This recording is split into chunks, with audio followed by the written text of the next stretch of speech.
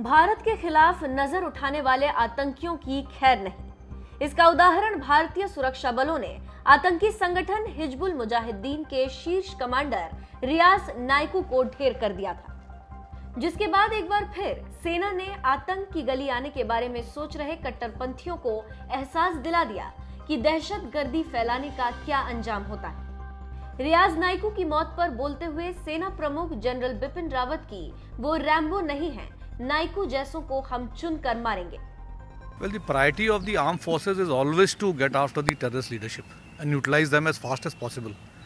Because if you succeed in doing so, uh, recruitment levels go down.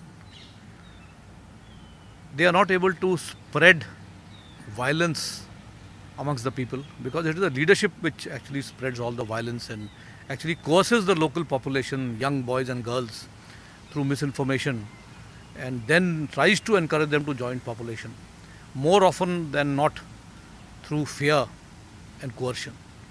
So, if you are able to eliminate leadership, uh, we are quite hopeful that uh, you will find that recruitment will come down and uh, there will be lesser violence in the valley. This has always been the effort of the armed forces and they will continue to do so. All security agencies will always try and attempt to eliminate leadership.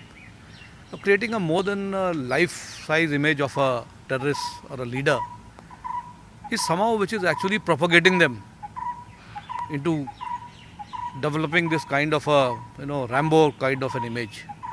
I think the more we stay away from them and we actually highlight their uh, negativities more, uh, we will not then create this Ramboistic image about these people. They, they, are, they are nobody, they are just people who are spreading terrorism, uh, creating uh, mayhem, uh, not allowing normalcy to return uh, into the state. And that's all I have to say. I don't think we should give too much of weightage to any of these leaders. Uh, they are not heroes in any way in minds of the local population.